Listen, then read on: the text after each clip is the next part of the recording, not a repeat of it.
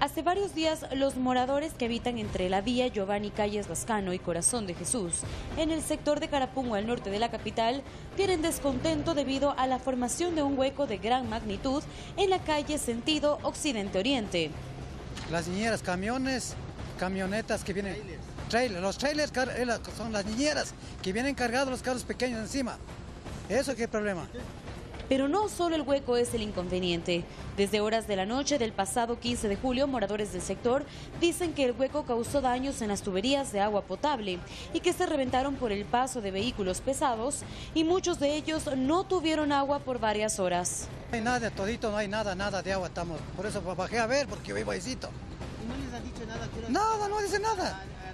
En horas de la mañana del 16 de julio, el ECU 911 fue avisado de este inconveniente y el personal especializado y agentes metropolitanos trataron de solucionar el problema de tráfico y falta de agua en la zona. Eh, no, todavía, gracias a Dios, porque ya me reportaron el ECU, ya le estamos colaborando en el sitio, se cerró la vía, se puso los conos, estamos mi persona colaborando en el lugar. Moradores también cuentan que antes esta zona era un chaquiñán y gracias a una minga lograron adoquinar la calle, así que esperan pronto una solución total y no parcial de este problema. Para Vecinos en TV, Carla Arcentales.